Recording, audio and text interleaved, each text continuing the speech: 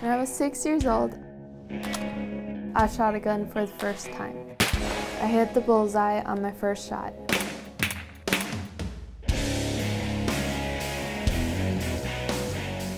The title of this magazine article that I wrote is Say Your Prayers Varmint, This Girl's Got Aim. There's not that many people that really have that much of a passion for hunting and for shooting as someone like Kelly does. In fact, it's a lot like mine. And what I like about it is the fact that she just loves it. She lives and breathes it. She grew up in a small town.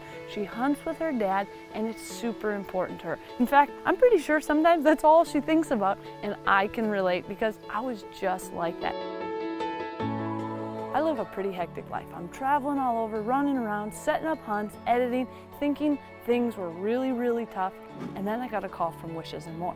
Now what Carla asked pretty much blew me away. They had a young girl who grew up close to my hometown whose wish was to hunt with me, and she wanted to hunt in Illinois at Golden Triangle Whitetail.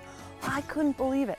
All of a sudden, I'm thinking all the things that are happening in my life, that's nothing compared to some of the struggles that she has going, and yet her wish is to come hunting with me. But Kelly has was diagnosed with Friedreich's ataxia, and she um, is going to be losing her ability to walk, amongst other things. And so it is important for her to do what she can while she can.